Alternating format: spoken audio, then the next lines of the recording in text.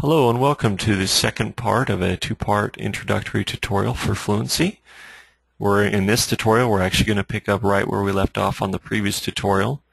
Now we're going to enable some of the additional resources that Fluency provides in order to help translators translate more quickly.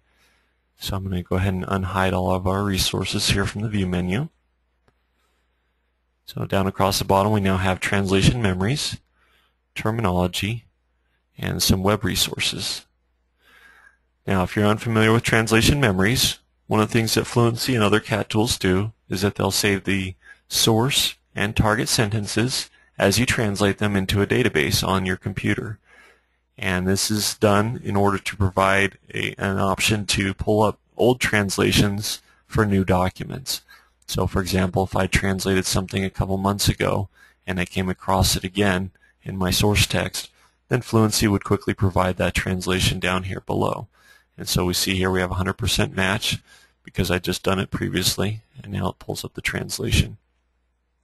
And we're going to go down here and demonstrate how useful this can actually be. So here we have the sentence, this is the first bullet, followed by something that is, is very similar, but we have not translated yet. So I'm going to go ahead and move to the next sentence. And you'll see here that Fluency has found a partial or an 80% match. And so it's comparing the text, this is the second bullet, to the one we just did. This is the first bullet. And it sees that there's an 80% match. 80% of the words are matching. And now it's provided us with that target translation. Now if we wanted to as a translator, I could now use this translation and then just manipulate it to fit the new context. So I can do this by double clicking here and then I can go in here and make changes as needed. Now my Spanish isn't too good and I'm sure that's incorrect, but you get the general idea. You can use uh, of how to use translation memories to quickly accelerate your translation process. Okay, next thing we want to demonstrate is terminology. Now Fluency comes with built-in terminology so that as you're translating, if you come across a word or phrase that you're unfamiliar with, every word or, or phrase in the current sentence that's highlighted will be displayed down here and just to the right will be provided a quick uh, glossary or definition for that word. So case in point, we have uh, one possible translation here. Now, just like a dictionary, sometimes when you go and look up a word in your dictionary, uh, the first translation is not always the best one. So in Fluency, we provide additional translation possibilities here to the right. We also provide a machine translation from Microsoft here that you may use as well. Now, if you find a better definition than what Fluency has provided, you can always edit those.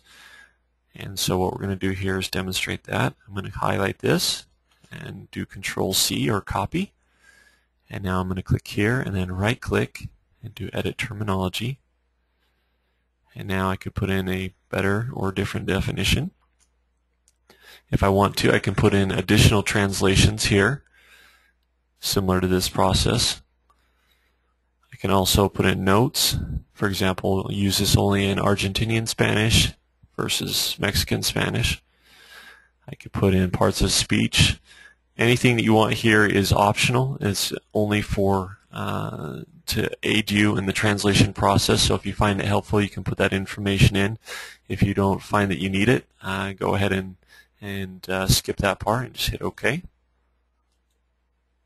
And now you notice this is in blue, and this indicates that it is one of the terms that I have added as opposed to the ones that are built into Fluency and you'll see that everything that you add to Fluency would then supersede what's built in already.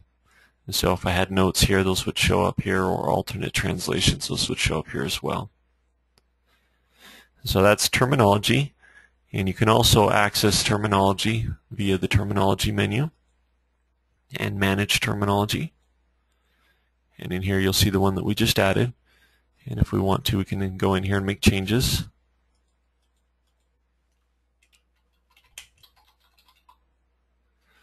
We have additional fields here that we can enable if we want, like notes.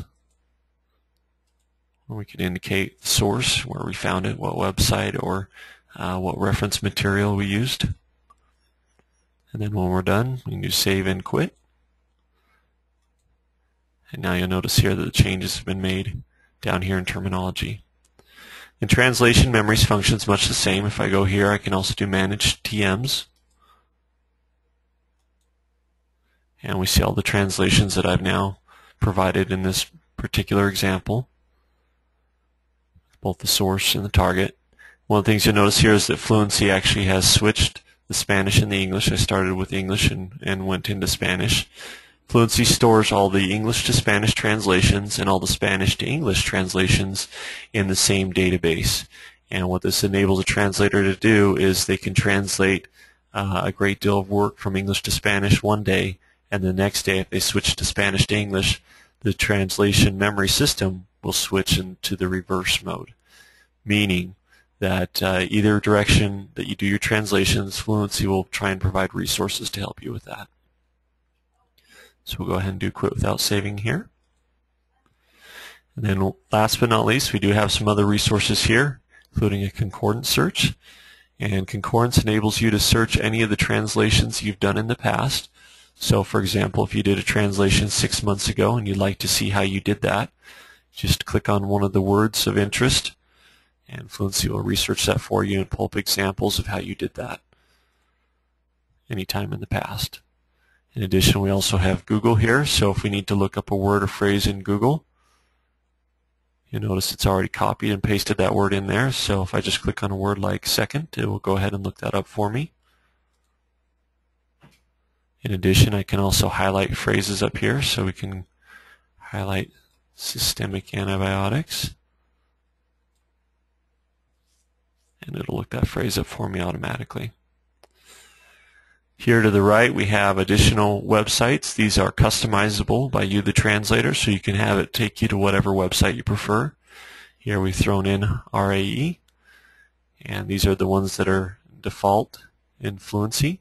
So to change those we go to Tools and Preferences, Website Settings, and here we put in whatever website we want Fluency to take us to and then we put the name that's going to show up here in the tab. So if I wanted to go to MSN, and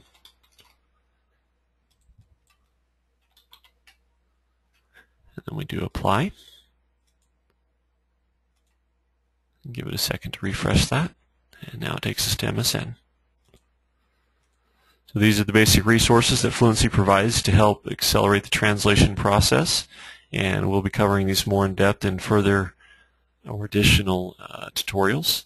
So stay tuned, and uh, if you have any questions, please feel free to contact us, uh, support at westernstandard.com. You can also send us a support email through the help menu here. Just provide your email address and your question, and we'll get back to you. Thank you.